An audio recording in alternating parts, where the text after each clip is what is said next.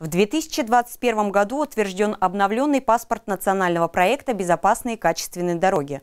Документ приведен в соответствие с указом президента России. О том, какие изменения были внесены, в нашем следующем материале. Национальный проект ориентирован на достижение цели комфортная и безопасная среда для жизни. Основной показатель – обеспечения доли дорожной сети в крупнейших городских агломерациях, соответствующий нормативным требованиям на уровне не менее 85% к 2024 году. В настоящее время поменялась немножко структура национального проекта. Э, значит, э, в него включается вместо четырех шесть федеральных проектов. Это, значит, региональная и местная дорожная сеть. Э, раньше был, называлась дорожная сеть просто общесистемные меры дорожного дорожного, развития дорожного хозяйства. И с 2021 года также начали действовать федеральные проекты развития федеральной магистральной сети и модернизация пассажирского транспорта в, городской, в городских агломерациях. Ненецкий автономный округ в связи с тем, что у нас э, нет э, э, больших агломераций, не участвует в данном проекте. В рамках федерального проекта «Региональная и местная дорожная сеть» продолжится приведение в нормативное состояние региональных дорог и транспортных артерий городских агломераций.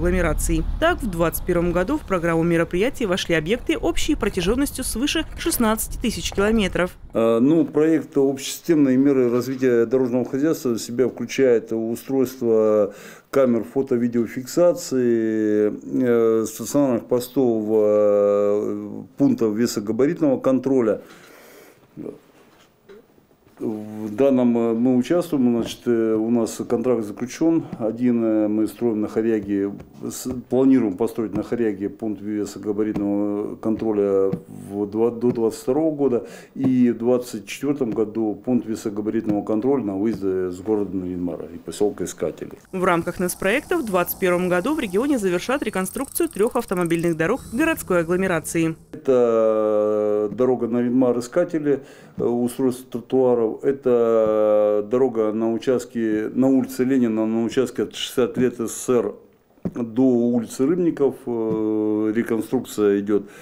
И э, реконструкция по улице Полярная, да, где в прошлом году мы занимались тротуарами, в этом году еще дорожное полотно поменяют. Э, на эти цели нам было выделено из Федерации 50 миллионов рублей.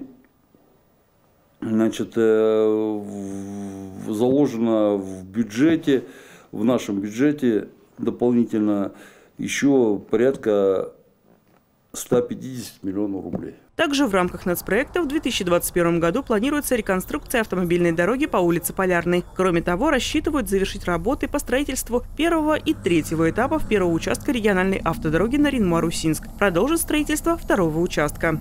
Наталья Дуркина, Антон Вдряков, телеканал «Север».